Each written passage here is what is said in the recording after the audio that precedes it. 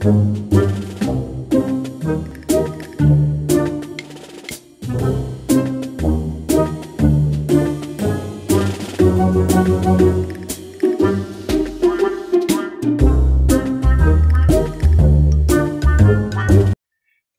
തരികിടയിലേക്ക് സ്വാഗതം.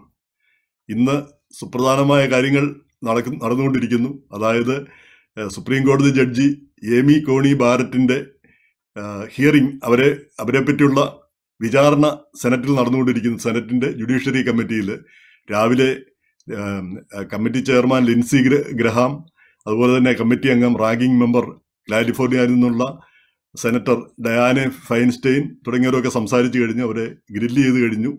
പക്ഷേ ഇവർ സംസാരിച്ചിട്ടില്ല. ഉച്ചയ്ക്ക് ശേഷമാണ് അവർ സംസാരിക്കുന്നത്. അതേപ്പറ്റി നമുക്ക് കേൾക്കാം. എന്തായാലും ഒരു നനഞ്ഞ കോഴിക്കുഞ്ഞ് പിന്നെ ശത്രുക്കളുടെ വാളയത്തിൽപ്പെട്ട ഒരു നന പിന്നെ കോഴിക്കുഞ്ഞ് നനഞ്ഞിരിക്കുന്നത് പോലെയാണ് ജഡ്ജി പിന്നെ എമി കോണി ബാരറ്റ് അവിടെ ഇരിക്കുന്നത്. ഇത്രയും പേര് വൻതോക്കുകളുടെ രാഷ്ട്രീയ രംഗത്തെ അധികാരന്മാരെല്ലാരും കൂടി ഇരുന്ന് പുരിക്കുന്ന ഒരു അവസ്ഥ. പക്ഷേ ഒരിക്കൽ ഇവിടുന്ന് കൺഫേം ചെയ്ത് കഴിഞ്ഞാൽ പിന്നെ അവർ സുപ്രീം കോടതി ജഡ്ജിയായി ആജീവനാന്ത കാലം പിന്നെ പിന്നെ അവർക്ക് നാൽപ്പത്തെട്ട് വയസ്സേ ഉള്ളൂ. അപ്പോൾ എത്രയോ കാലത്തേക്ക് അവർക്ക് ഈ രംഗത്ത് തുടരാനാവും. സുപ്രീം കോടതി ജഡ്ജിയായിട്ട് തുടരാനാവും.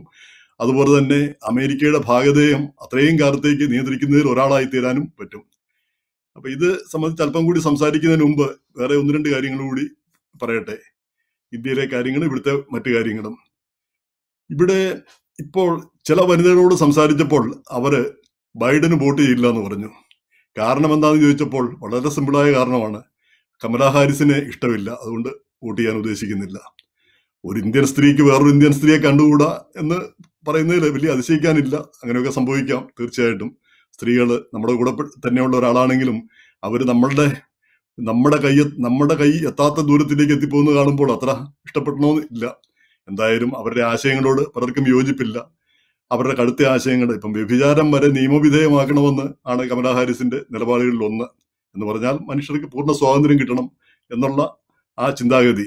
അതിനോട് അനുഭാവ അനുഭാവം ഇല്ലാത്തവരുണ്ട് മതപരമായിട്ടുള്ള കാരണങ്ങളാൽ ഏഹ് പിന്നെ വ്യത്യാസം പ്രകടിപ്പിക്കുന്നവരുണ്ട്.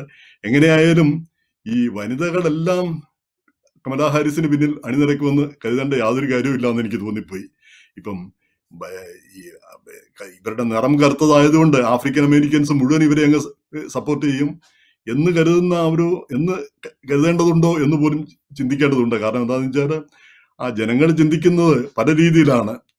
ബൈഡന് അവരുടെ പോളിസി അനുസരിച്ചും അവർ അവർ നമ്മുടെ ജീവിതത്തിൽ ഉണ്ടാക്കാൻ പോകുന്ന മാറ്റങ്ങൾ അനുസരിച്ചും ഇതൊക്കെയാണ് പ്രധാനമായിട്ടും ആളുകൾ ചിന്തിക്കുന്നത്. ഇപ്പൊ ട്രംപിനെ അനുകൂലിക്കുന്നവർ പറയുന്ന അവരെ എന്തെങ്കിലും ബെനിഫിറ്റ് കിട്ടുന്നവരാണ്. കാരണം ട്രംപിനെ അനുഭവ അനുകൂലിക്കുന്ന മിക്കവാറും എല്ലാ മലയാളികളെ പറ്റിയും ചിന്തിക്കുമ്പോൾ അവർക്കെല്ലാം എന്തെങ്കിലും ഒരു ബിസിനസ് എന്തെങ്കിലും ഒരു കച്ചവട താല്പര്യം അല്ലെങ്കിൽ എന്തെങ്കിലും ഒരു സ്റ്റോക്ക് മാർക്കറ്റിലുള്ള താല്പര്യം ഇതൊക്കെ ഉണ്ട്. ഇതൊന്നും ഇല്ലാത്ത സാധാരണക്കാര് അവർക്ക് ട്രംപിനോട് പ്രത്യേക പ്രതിപത്തിയൊന്നുമില്ല ബൈഡനോട് ഓഫ് കോഴ്സ് അവരാണ് എന്തെങ്കിലും ആനുകൂല്യങ്ങളൊക്കെ നമുക്ക് കിട്ടുന്നത് എന്നുള്ള എന്നുള്ള ധാരണയുണ്ട്. അപ്പോൾ ചുരുക്കി പറഞ്ഞാൽ നമുക്ക് എന്ത് കിട്ടുന്നു എന്നുള്ളത് വിചാരിച്ചാണ് പിന്നെ എപ്പോഴും ആളുകൾ ചിന്തിക്കുന്നത്. ഇത് ഇലക്ഷനെ സംബന്ധിച്ചിടത്തോളം പറയുന്നത് എന്താണ്? ഈ ഇലക്ഷൻ പറയുന്നത് എന്താണ്? ഇതാ ഈ വോട്ട് വോട്ട് എപ്പോഴും നടക്കുന്നത് economy it is the economy stupid എന്നാണ് പറയുന്നത്. എക്കോണമി എങ്ങനെ ഇരിക്കുന്നു? അതിനനുസരിച്ചാണ് എക്കോണമി നമ്മുടെ എക്കണോമിക് താല്പര്യം എങ്ങനെ ഇരിക്കുന്നു? എന്നതിനനുസരിച്ചാണ് നമ്മൾ ഇതിനെ കാണുന്നത് നമുക്ക് നമ്മൾ ഇതിനെ പിന്നെ ഇതിനെ സപ്പോർട്ട് ചെയ്യാൻ ഉദ്ദേശിക്കുന്നത്. ഇനി ഇതിന്റെ കൂടെ മറ്റൊരു കാര്യം കൂടി ആലോചിക്കട്ടെ. പിന്നെ ഒരുപാട് ഇന്ത്യക്കാർ ഇപ്രാവശ്യം ഇലക്ഷൻ നിൽക്കുന്നുണ്ട്. പല പല രംഗങ്ങളിലായിട്ട് പലയിടത്ത് സ്റ്റേറ്റിലേക്കും പിന്നെ പ്രാദേശിക തലത്തിലും കോൺഗ്രസിലേക്കും ഒക്കെ ആയിട്ട് ധാരാളം ഇന്ത്യക്കാർ നിൽക്കുന്നുണ്ട്. അതിൽ മലയാളികൾ വളരെ ചുരുക്കമായിട്ടേ ഉള്ളൂ.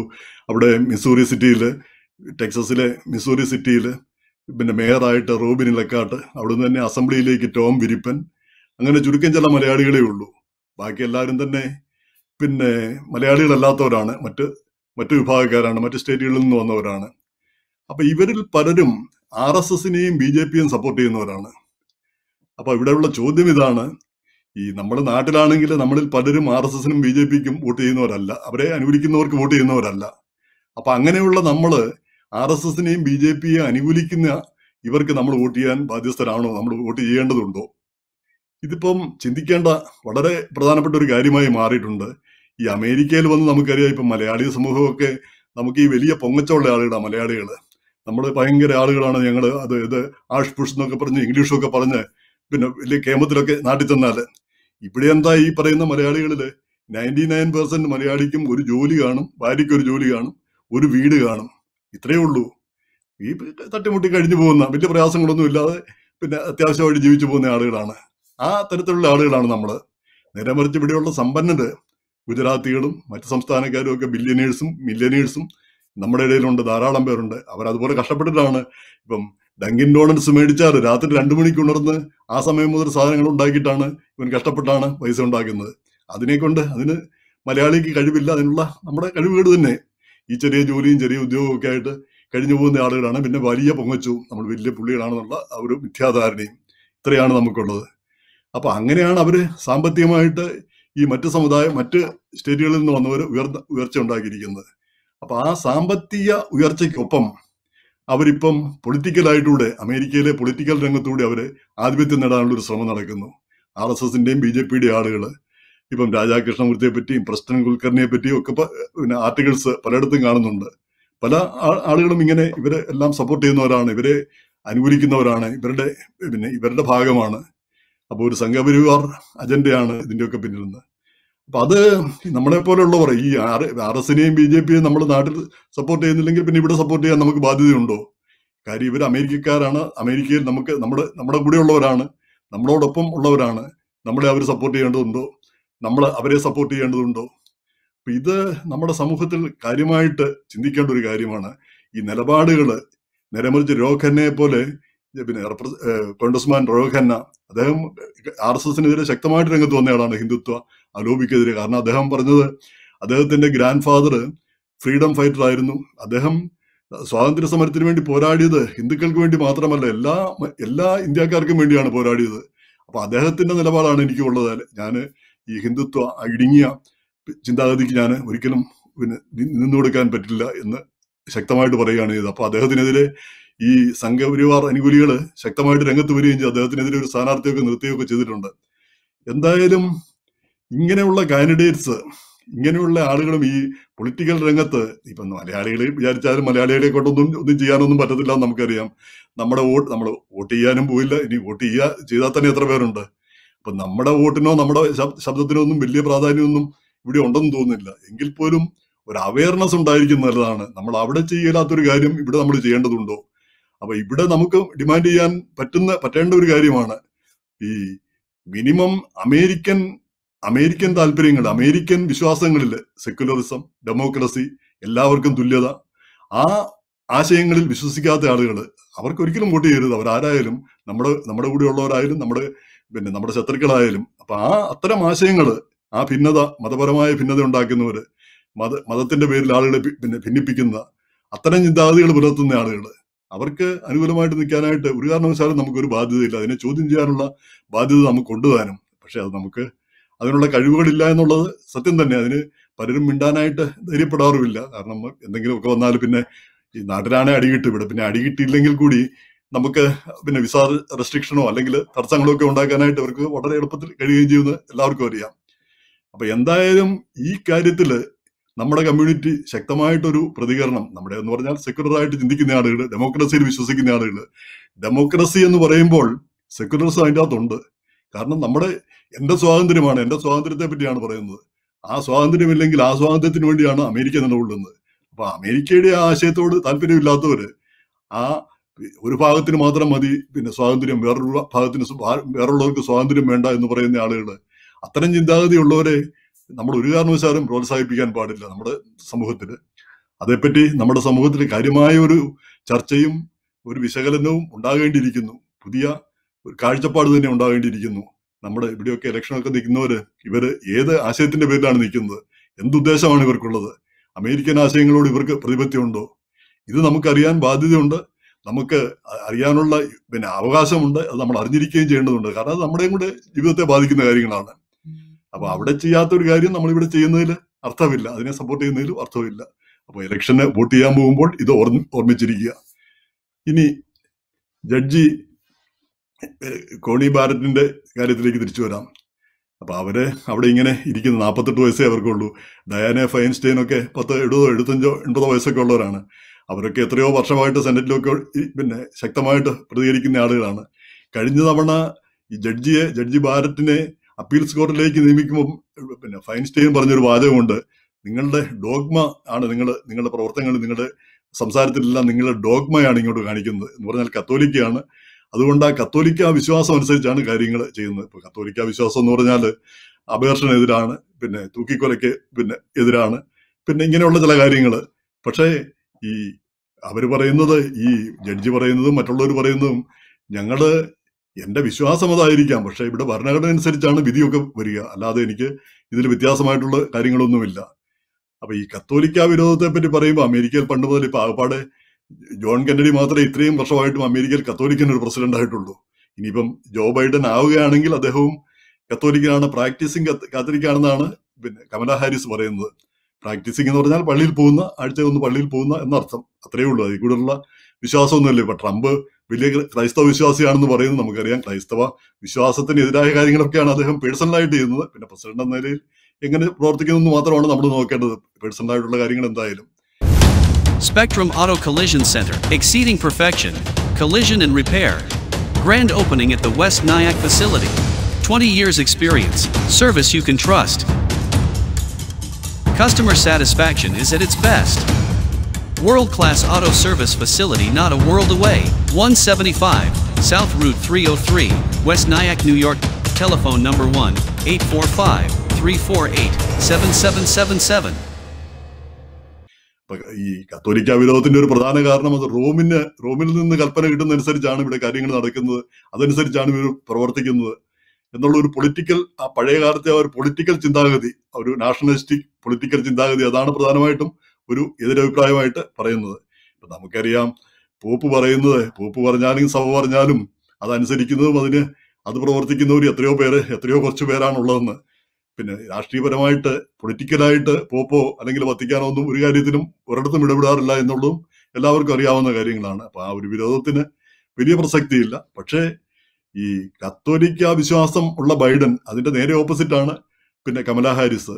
Kamala Harris Baptist ആണെന്ന് പറയുന്നു. അവർ അവരൊക്കെ ആ ഒരു എക്സ്ട്രീം ലിബറൽ പ്രസിഡന്റ് ട്രംപ് പറഞ്ഞ അവരെ കമ്മ്യൂണിസ്റ്റാ ഭയങ്കര ലിബറലും കമ്മ്യൂണിസ്റ്റും ഒക്കെ ആണെന്നാണ് പ്രസിഡന്റ് പറഞ്ഞത്. എല്ലാ ആശയങ്ങളും മാറ്റിക്കളയും. എല്ലാ എല്ലാ തരത്തിലും പിന്നെ ലിബറലൈസ് ചെയ്ത് കളയും എന്നുള്ള രീതിയിലാണ് പ്രസിഡന്റ് പറഞ്ഞത്. അത്രയൊന്നും ഇല്ലെങ്കിൽ കൂടി ഈ പിന്നെ അനിയന്ത്രിതമായ അബേർഷൻ അതായത് സ്ത്രീയുടെ ശരീരം സ്ത്രീയുടെ അവകാശമാണ്. സ്ത്രീയാണ് തീരുമാനിക്കേണ്ടത് എന്താ ചെയ്യേണ്ടതെന്ന്. അതിൽ സത്യം ഇല്ല എന്ന് ഞാൻ പറയുന്നില്ല. ഓഫ് കോഴ്സ് പക്ഷേ അത് ഇൻവോൾവ് ചെയ്യുന്നത് സ്ത്രീയുടെ ശരീരം അവളുടെ സ്വന്തമാണെങ്കിൽ കൂടി അതിന്റെ ഉള്ളിൽ ഒരു കുട്ടിയോ അല്ലെ വേറൊരു ജീവനോ ഉണ്ട്. ആ ജീവൻ വളരെ നിഷ്പ്രയാസം നശിപ്പിച്ച് കളയുക നിഷ്പ്രയാസം ഇല്ലാതാക്കി കളയുക എന്നുള്ളത് അത് അവർ തന്നെ ധാർമ്മികമായിട്ട് ചിന്തിക്കേണ്ട കാര്യമാണ്. മറ്റൊരാൾ ഫോഴ്സ് ചെലുത്തേണ്ട കാര്യമല്ല. കാരണം ഓരോരുത്തരും ആ തീരുമാനം എടുക്കേണ്ടത് ആ തീരുമാനത്തിന് ഒരു ഇൻഫോംഡ് തീരുമാനം എടുക്കാനുള്ള കഴിവുള്ള ഒരു പ്രായത്തിൽ ആണെങ്കിൽ തിരക്കേടില്ല. അല്ലാതെ ഉള്ള കാര്യങ്ങളിൽ തീരുമാനം എടുക്കേണ്ട അവസ്ഥകൾ വരുന്നത് വളരെ ദുഃഖകരമായിട്ട് തോന്നിയിട്ടുണ്ട്. പതിനാലും പതിനഞ്ചും വയസ്സുള്ള പെൺകുട്ടികളുടെ അപേക്ഷന് നടത്തുന്നു. അതും ഈ കഴിഞ്ഞ ഇടയ്ക്ക് ഒരു ബോർഡ് ന്യൂയോർക്ക് സിറ്റിയിൽ വരികയുണ്ടായി ഈ ഈ അമേ പിന്നെ ബ്ലാക്ക് കറുത്ത വർഗക്കാരെ സംബന്ധിച്ചോളം അവരുടെ ഏറ്റവും വലിയ ശത്രു അവരുടെ ഏറ്റവും വലിയ കൊലയാളി ഈ പിന്നെ അമ്മയുടെ വയറിനുള്ളിൽ വയറിനുള്ളിൽ ഉള്ളപ്പോൾ തന്നെയാണ് ഏറ്റവും വലിയ ശത്രു അവർക്ക്. അവർ ഏറ്റവും അധികം അപേക്ഷ ഉണ്ടാകപ്പെടുന്നു അപ്പോൾ അപ്പൊ അവരുടെ ആ ഒരു ധാർമ്മികത ധാർമ്മിക അല്ലെ ലൈഫിൽ ഉണ്ടാകുന്ന ആ മാറ്റം ആ ഇതിനെയൊന്നും അതിജീവിക്കാൻ കഴിയാത്ത ഒരു ഈ ധാർമ്മികമായിട്ടുള്ള ഒരു ജീവിതത്തിലേക്ക് വരാനുള്ള സൗകര്യങ്ങളില്ലാഴിക അപ്പൊ ആ ഒരു മാറ്റത്തിന് വേണ്ടി പലരും ശ്രമിക്കാറില്ല. ഇങ്ങനെ ഈ പുറത്ത് നമ്മൾ ഈ കർത്തവരെ പറ്റി പറയുമ്പോൾ അവർ ക്രൈം ഉണ്ടാകുന്നു അല്ലെങ്കിൽ മറ്റ് കുറ്റകൃത്യങ്ങൾ ഉണ്ടാകുന്നു എന്നൊക്കെ പറയുമ്പോൾ അവരെ അപ്ലിഫ്റ്റ് ചെയ്യാനുള്ള ഒരു കാര്യങ്ങൾ നടക്കുന്നില്ല. അതിനു വേണ്ടിയിട്ടുള്ള ഒരു ധാർമ്മികമായിട്ടുള്ള കാര്യങ്ങളോ അല്ലെങ്കിൽ ചെറുപ്പം മുതലേ പഠിപ്പിക്കാനുള്ള കാര്യങ്ങളോ അവരുടെ അവരുടെ ജീവിത ശൈലിയിൽ ഒരു മാറ്റം വരുത്താനോ ഉള്ള ഒരു ശ്രമങ്ങൾ ഒരിക്കലും നടക്കുന്നതായിട്ട് കാണുന്നില്ല. ഈ കുറെ പൈസ കൊടുത്തുകൊണ്ടോ വെൽഫെയർ ഉള്ളതുകൊണ്ടോ മാത്രം ആ ലൈഫ് സ്റ്റൈൽ മാറുന്നില്ലല്ലോ. ജീവിതം ജീവിത രീതി മാറുന്നതിന്. അപ്പൊ ഇങ്ങനെയുള്ള കാര്യങ്ങളിൽ ഈ അപേക്ഷനെ പറ്റി പറയുമ്പോൾ അത് സ്ത്രീയുടെ കാര്യമാണ് എന്നുള്ളത് ശരി തന്നെ. പക്ഷെ അതേസമയം തന്നെ മറ്റൊരാളെയും ഇൻവോൾവ് ചെയ്യുന്നതാണ്. അതിൽ ഒരു പുരുഷനെ ഇൻവോൾവ് ചെയ്യുന്നുണ്ട്. അതുപോലെ തന്നെ ഒരു കുട്ടിയെ ഇൻവോൾവ് ചെയ്യുന്നുണ്ട്. അപ്പൊ അനിയന്ത്രിതം എന്നുള്ളത് ഈ ട്രംപൊക്കെ പറയുന്ന ഏതാനും മാസത്തേക്ക് അപേക്ഷനാകാം. അനിയന്ത്രിതമായിട്ട് അതിനുശേഷം പിന്നീട് നിയന്ത്രണങ്ങൾ വേണമെന്നാണ് പറയുന്നത്. അപ്പൊ അതിൽ കുറച്ചൊരു കാര്യം ഇല്ലാഴികയില്ല. ഒരു ഒരു പീരിയഡ് തീർച്ചയായിട്ടും ഒരു കാലം നിശ്ചയിച്ചിരിക്കണം ആ കുട്ടിയുടെ ജീവിതം. പിന്നെ എത്ര കാലം വരെ അതിനുശേഷം നിലനിൽക്കണോ വേണ്ടായോ? അല്ലെങ്കിൽ അത് എന്നാണ് അതിന്റെ ജീവിതം അവസാനിപ്പിക്കുന്നതിന് ഉള്ള അനിയന്ത്രിതമായ അവകാശം അമ്മയ്ക്ക് ഉണ്ടാവുക എന്നുള്ളത് തീരുമാ തീരുമാനിക്കേണ്ട ഒരു കാര്യം തന്നെ. അപ്പൊ ഈ ജഡ്ജി ബാരറ്റിനെ പറ്റി പറയുമ്പോൾ ഇവർ ആ പഴയ വിധി റോ വേഴ്സസ് വെയ്ഡ് ആ വിധി മാറ്റിമറിക്കുമോ എന്നാണ് ആശങ്ക. അപ്പൊ അത് പിന്നെ ഇവർ അതിനനുകൂലമായിട്ടുള്ള വിധി മാറ്റണമെന്നുള്ള രീതിയിലുള്ള പിന്നെ പ്രസ്താവനകൾ ഇവരുടെ ഭാഗത്തു നിന്ന് ഉണ്ടായിട്ടുണ്ട് അതാണ് പ്രധാനമായിട്ടും അവർക്കെതിരെയുള്ള ഒരു എതിർപ്പ്. രണ്ടാമത്തെ എതിർപ്പ് ഇന്ന് രാവിലെ കേട്ട പിന്നെ പ്രധാനപ്പെട്ട കാര്യങ്ങൾ ഒബാമ കെയർ ഇവർ എടുത്തു മാറ്റിക്കളയുമോ ഈ ഒബാമ കെയർ ഇല്ലെങ്കിൽ അവർ ഈ സെനറ്റർ ഫൈൻസ്റ്റൈൻ പല ഉദാഹരണങ്ങൾ ഇവിടെ കാണിക്കുകയുണ്ടായി. ഉദാഹരണത്തിന് ഈ നേരത്തെ രോഗമുള്ള പലർക്ക് പലർക്കും ഈ ഒബാമ കെയർ വന്നപ്പോൾ പിന്നെ ഇൻഷുറൻസ് കിട്ടി. അതുപോലെ രണ്ടായിരവും മൂവായിരവും മാസം അടയ്ക്കേണ്ടി വന്നവർ പത്തോ ഇരുന്നൂറോ രൂപ മാത്രം അടച്ചാൽ മതി. അത് ഒബാമ കെയർ എടുത്തു കഴിഞ്ഞാൽ ഈ രോഗം നേരത്തെ രോഗമുള്ള മില്യൻസ് ഓഫ് ആളുകൾക്ക് ഇൻഷുറൻസ് കിട്ടാത്ത അവസ്ഥ വരും. അങ്ങനെയൊക്കെയുള്ള കാര്യങ്ങളെ പറ്റിയുള്ള അഭിപ്രായമാണ്. അങ്ങനെയുള്ള വേദനിപ്പിക്കുന്ന കാര്യങ്ങളാണ് ജഡ്ജിയോട് ചോദിക്കുന്നത്. എന്തായാലും ഇവർ അമേരിക്കയ്ക്ക് അനുകൂലമായിട്ടും ജനത്തിന് അനുകൂലമായിട്ടുള്ള വിധികൾ ആയിരിക്കും നടത്തുക അങ്ങനെയുള്ള ഒരാളായിട്ട് അവർ വരട്ടെ അങ്ങനെയുള്ള ഒരു നല്ല ജസ്റ്റിസ് ആവട്ടെ. ഈ പൊളിറ്റിക്സ് എല്ലാം മാറിക്കഴിയുമ്പോൾ ജസ്റ്റിസ് അവിടെ നിലനിൽക്കും. അവിടെ മരണം വരെ നിലനിൽക്കുന്ന സ്ഥാപനമാണത്. ആ ജസ്റ്റിസ് അമേരിക്കയ്ക്കും ജനത്തിനും ഗുണപരമായ കാര്യങ്ങൾ അപ്പൊ ഇപ്പോഴത്തെ നിലപാട് മാത്രമല്ല ഇപ്പം നമുക്കറിയാം chief justice John G Roberts അദ്ദേഹം വളരെ ഈ കൺസർവേറ്റീവ് ആയിട്ടാണ് വന്നത്. പക്ഷേ ഈ അടുത്തിടയ്ക്കുള്ള വിധികളിലെല്ലാം വളരെ ലിബറൽ ആയിട്ടാണ് അദ്ദേഹം മാറിയിരിക്കുന്നത്. അപ്പൊ ആളുകൾ അഭിപ്രായങ്ങളൊക്കെ മാറാം അഭിപ്രായങ്ങളൊക്കെ വ്യത്യസ്തമാകാം. എങ്കിലും അത് ജനങ്ങൾക്ക് ഉപകാരപ്രദമായിരിക്കുന്ന കാര്യങ്ങൾ തീർച്ചയായിട്ടും നമ്മൾ ഈ അനിയന്ത്രി അനിയന്ത്രിതമായ സ്വാതന്ത്ര്യത്തിന് വേണ്ടി പറ- പറയുമ്പോൾ തന്നെ ഓഫ് കോഴ്സ് അത് തെറ്റില്ലായിരിക്കാം. പക്ഷെ അതിന് ഒരു റെസ്പോൺസിബിൾ റെസ്പോൺസിബിലിറ്റി കൂടെ അതിന്റെ അതിന്റെ കൂടെ ഉണ്ടാവേണ്ടിയിരിക്കുന്നു. അത് ഉണ്ടാകുന്ന ഒരു സമൂഹമാണ് വരേണ്ടത്. അതിനു വേണ്ടിയിട്ടുള്ള ഒരു പ്രവർത്തനമാണ് ഉണ്ടാകേണ്ടതും അപ്പൊ അതിന് ഇങ്ങനെ ഈ ജസ്റ്റിസിന്റെ നിയമനമൊക്കെ ഈ പൊളിറ്റിക്സ് ഒക്കെ കെട്ടടങ്ങുമ്പോൾ ഈ നിയമനമൊക്കെ രാജ്യത്തിന് ഗുണകരമാകട്ടെ രാജ്യത്തിന് ഗുണകരമാകുന്നതാവട്ടെ എന്ന് നമുക്ക് പ്രതീക്ഷിക്കാം. അത് അതിനു വേണ്ടിയിട്ടുള്ളൊരു ഒരു പ്രത്യാശയാവട്ടെ നമ്മുടെ ഇന്നത്തെ ദിവസം. ഈ പിന്നെ ജസ്റ്റിസിന് മൂന്നോ നാലോ ദിവസത്തെ കൂടി പിന്നെ ഹിയറിംഗ് ഉണ്ട്. അതിനുശേഷമാണ് അത് വോട്ടിനിട്ടതിന് ശേഷമാണ് സെനറ്റിൽ മൊത്തം സെനറ്റ് വോട്ട് വോട്ട് ചെയ്യുക. അത് ഏതാനും ദിവസം കൂടി ഉണ്ട്. ഈ മാസം കൂടിയാണ് അതായത് ഈ മാസം കൂടി ഈ മാസത്തിനുള്ളിൽ അവരെ സ്ഥിരപ്പെടുത്തണം. കാരണം അടുത്ത മാസം മൂന്നാം തീയതിയാണ് ഇലക്ഷൻ വരാൻ പോകുന്നത്. അപ്പൊ അതിനു മുമ്പ് കാര്യങ്ങളെല്ലാം നടത്തണമെന്നാണ് റിപ്പബ്ലിക്കൻസ് ആഗ്രഹിക്കുന്നത്. കാരണം നവംബർ മൂന്നിന് ശേഷം എന്ത് സംഭവിക്കുമെന്ന് അറിയില്ല എന്തായാലും ആ വിധി എന്തായിരിക്കും നമുക്ക് പിന്നെ കാത്തിരിക്കാം. ഈ ജഡ്ജിയെ ഇപ്പോഴത്തെ സാഹചര്യത്തിൽ സ്ഥിരപ്പെടുത്താനാണ് സാധ്യത. അത് മറ്റേതെങ്കിലും ഏതെങ്കിലും ഒരു സാഹചര്യം വന്നാൽ അതിന് ഒരു ഒരു മാറ്റം വരാനുള്ള സാഹചര്യം ഇപ്പോൾ കാണുന്നില്ല. പക്ഷെ നമുക്കറിയില്ല. ഇനിയും ഏതാനും ദിവസങ്ങളുണ്ട്. എന്തായാലും നല്ലൊരു തീരുമാനം വരട്ടെ. ഇത്രയുമാണ് ഇന്നത്തെ തരികിടയിൽ നമ്മൾ സംസാരിച്ചത്. നമ്മൾ രണ്ടു മൂന്ന് സുപ്രധാന കാര്യങ്ങൾ സംസാരിച്ചു. ഒന്ന് ഈ R S S B J P അനുകൂലികൾ ഇവിടെ വന്ന് ഇലക്ഷനൊക്കെ നിൽക്കുന്നു. അവരെ നമ്മൾ സപ്പോർട്ട് ചെയ്യേണ്ടതുണ്ടോ? പിന്നെ കമലാ ഹാരിസിന്റെ കൂടെ എത്ര ഇന്ത്യക്കാരുണ്ട്? പ്രത്യേകിച്ച് ഇന്ത്യൻ വനിതകൾ എത്ര പേര് സപ്പോർട്ട് ചെയ്യുന്നുണ്ട്? പിന്നെ ജഡ്ജി ഭാരതിന്റെ നിയമനം അതിന്റെ പ്രത്യാഘാതങ്ങൾ. അപ്പൊ ഇങ്ങനെയുള്ള കാര്യങ്ങളെ പറ്റി നമുക്ക് വരും ദിവസങ്ങളിലും ചർച്ച ചെയ്യാം. ഇന്നത്തെ തരികിട ഇവിടെ സമാപിക്കുന്നു. മറ്റൊരു വിഷയവുമായി നമുക്ക് അടുത്ത ദിവസം സന്ധിക്കാം. നിങ്ങളുടെ അഭിപ്രായങ്ങളും നിർദ്ദേശങ്ങളും അറിയിക്കുക. നിങ്ങളുടെ വിമർശനങ്ങൾ പ്രത്യേകിച്ചും ഞങ്ങളുടെ email editor at e Malayali dot com. ഒരിക്കൽ കൂടി email editor at e Malayali dot com. അതിന്റെ കൂടെ അവസാനമായിട്ട് ഒരു കാര്യം കൂടി പറഞ്ഞുകൊള്ളട്ടെ കഴിഞ്ഞ ദിവസം നമ്മൾ ഇമിഗ്രേഷൻ സംബന്ധിച്ച് ഒരു ഷോ ചെയ്യുകയുണ്ടായി. അതിന് വലിയ പിന്നെ ജഡ് പിന്നെ അറ്റോർണി റാം ചീരത്തുമായിട്ട് അതിന് വലിയ പ്രതികരണമാണ് ലഭിച്ചത്. അപ്പോ അതിന്റെ അർത്ഥം മനസ്സിലാക്കേണ്ട ഒരു കാര്യം അതാ മനസ്സിലാക്കേണ്ട ഒരു കാര്യമുണ്ട് അതിൽ. അതായത് നമ്മളെ ബാധിക്കുന്ന കാര്യങ്ങളെ പറ്റി നമ്മുടെ ശ്രദ്ധാലുക്കളാണ്. നമ്മളെ ബാധിക്കുന്ന കാര്യങ്ങളെ പറ്റി ഇമിഗ്രേഷനൊക്കെ നമ്മളെ നേരിട്ട് ബാധിക്കുന്ന കാര്യമാണ്. അപ്പൊ അതിനെപ്പറ്റി കൂടുതൽ അറിയാൻ നമുക്ക് താല്പര്യമുണ്ട്. മറ്റു കാര്യങ്ങളിലൊന്നും നമുക്ക് ശ്രദ്ധയില്ലെങ്കിലും ഇങ്ങനെയുള്ള കാര്യങ്ങളിൽ നമുക്ക് ശ്രദ്ധയുണ്ട്. തീർച്ചയായിട്ടും അതൊരു നല്ല കാര്യം തന്നെ. നമ്മൾ നമ്മുടെ കാര്യങ്ങളെ പറ്റി നമ്മൾ കൂടുതൽ അവബോധം ഉണ്ടാകണം. അതിനെപ്പറ്റി കൂടുതൽ അറിവുണ്ടായിരിക്കണം. അത് തീർച്ചയായിട്ടും ഈ രാജ്യത്ത് ജീവിക്കുമ്പോൾ അതെല്ലാം ആവശ്യവുമാണ് മാറ്റങ്ങൾ എന്തൊക്കെയാണ് മാറ്റങ്ങൾ വരുന്നതെന്ന് അറിയാനുള്ള ആ ആഗ്രഹം അതിന് തീർച്ചയായിട്ടും സ്വാഗതം ഇന്നത്തെ തരികിട ഇതോടുകൂടി സമാപിക്കുന്നു എല്ലാവർക്കും നമസ്കാരം The new owner at Toyota City in Mamaroneck. Welcome to Toyota City. Hi, my name is Jerry Thomas. We welcome you to Toyota City. We are a brand new dealership located in Mamaroneck, New York. And our motto here is transparency, efficiency, and respect. Transparency, every deal will be totally transparent. Efficiency, we've made many investments to technology, to processes here, so that our customers will never waste time, waste money. respect.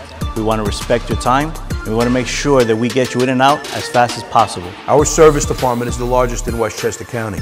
We're the only Toyota dealership in Westchester County that offers loaner cars every time you come for service. And we're here for you. Come see us. You're going to see why everyone is saying, I love this city. Spectrum Auto Sales. One stop shop exceeding perfection. Brand names, brand value, brands of the world. Spectrum Auto Sales. Guaranteed credit approvals.